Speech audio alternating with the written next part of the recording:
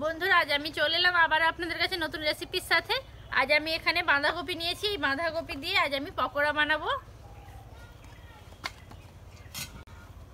পকোড়া বানানোর জন্য আমি এখানে নিয়েছি একটা বাঁধাকপি, দুটো পেঁয়াজ, আর নিয়েছি ধনে পাতা, আর কাঁচা লঙ্কা, আর নিয়েছি এখানে কর্নফ্লাওয়ার, বেসন আমি প্রথমে বাঁধাকপিগুলোকে একেবারে সরু সরু করে বা ঝুরি করে কেটে নিচ্ছি।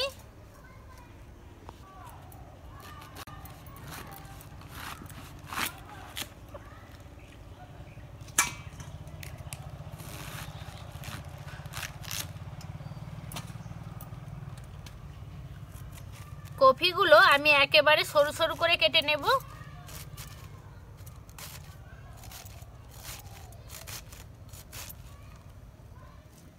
একেবারে ঝুরি করে কেটে নিয়েছি।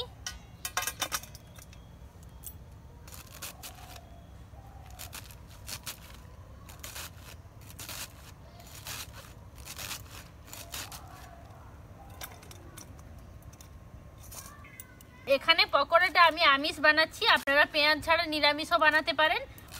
আর আমার চ্যানেলে ফুলকপির পকোড়ার রেসিপিও রয়েছে, আমি ডেসক্রিপশন বক্সে লিংক দিয়ে দেবো, আপনারা ওখান থেকে পেয়ে যাবেন।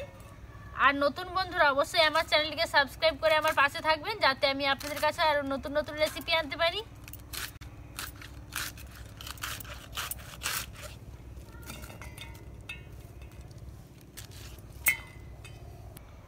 এখানে আমি কফিটা একটুখানি কেটে নিয়েছি, বেশি নিইনি। আর আমি এবার পেঁয়াজ কেটে নেব। পেঁয়াজগুলোকেও কুচিয়ে আমি ওর মধ্যে দিয়ে দিচ্ছি। আর পেঁয়াজগুলো আমি একটু বড় বড় মোটা মোটা করে কাটছি, তাহলে খেতেও ভালো লাগবে।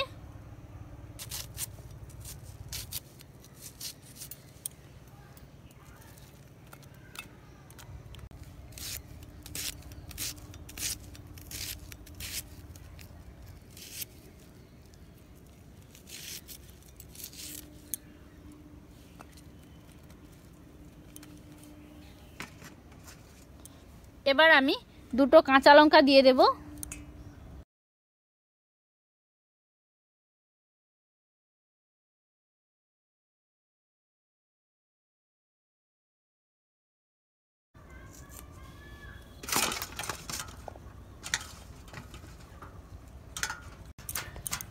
আর এখানে আমি ধনে পাতাগুলোকেও ছোট ছোট করে কেটে দিয়ে দেবো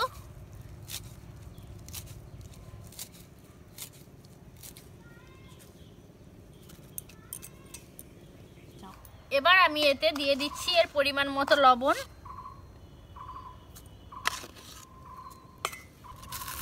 আর দিয়ে দেব বেসন। বেসনটা আমি তিন চামচের মতো দিচ্ছি।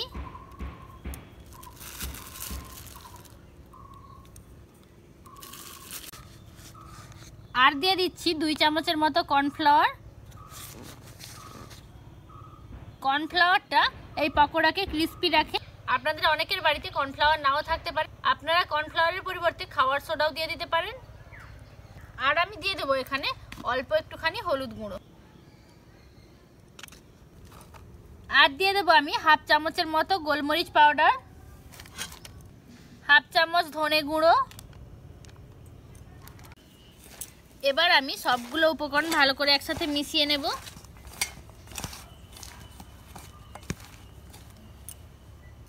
অল্প অল্প করে জল দিয়ে আমি এটা ভালো করে মেখে নেব।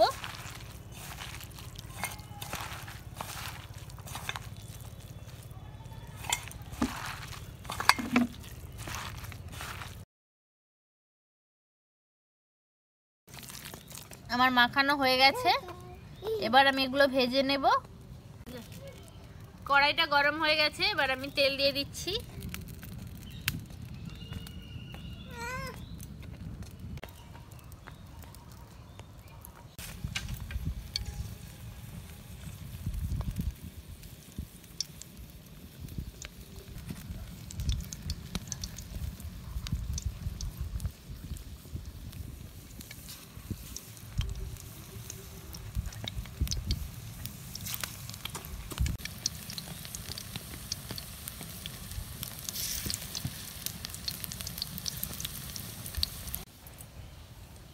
দাও আমাকে শান্ত দাও।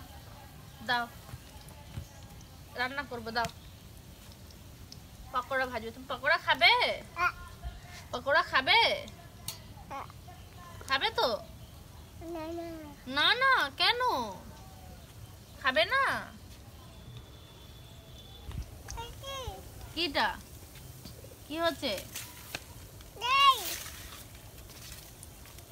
জল? এবার আমি এগুলো উল্টে দেব।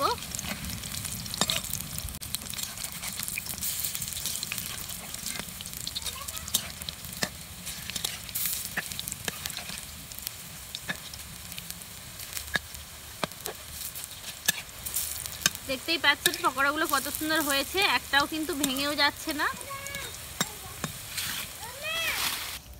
পকোড়াগুলো ভাজা হয়ে গেছে, আমি এবার এগুলো তুলে নিচ্ছি।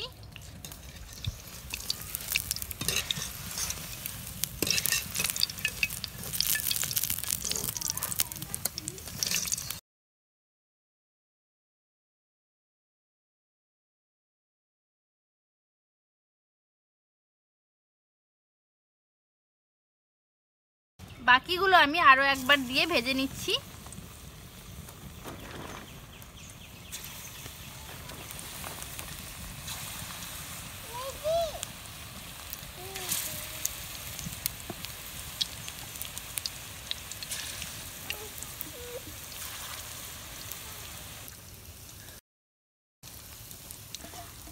পকোড়াগুলোকে আমাকে মিডিয়াম আঁচে ভাজতে হবে, নাহলে পকোড়াগুলো ভেতর থেকে কাঁচা রয়ে যাবে আর ভালো করে ভাজা হবে না, শুধুমাত্র বারটাই মুচমুচে হয়ে যাবে আর ভেতরটা কাঁচা রয়ে যাবে।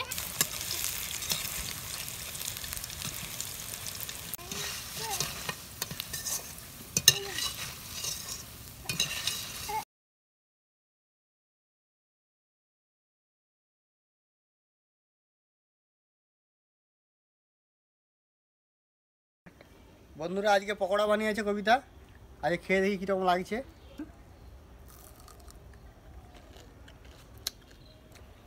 পকোড়াগুলো খুব সুন্দর মুচমুচে হয়েছে। আর টেস্টটাও ঠিক আছে। আপনারা সবসময় মাংসের পকোড়া না খেয়ে সবজি পকোড়া খেতে পারেন। এটা যে কোনো টাইমে আপনি বানাতে পারেন বাড়ি থাকা জিনিস দিয়েই। বাঁধাকপি, ফুলকপি, সব রকমের পকোড়া হয়। দেখা হচ্ছে বন্ধুরা আবার পরের ভিডিওতে। আজকের মতো বন্ধুরা বিদায় নিচ্ছি।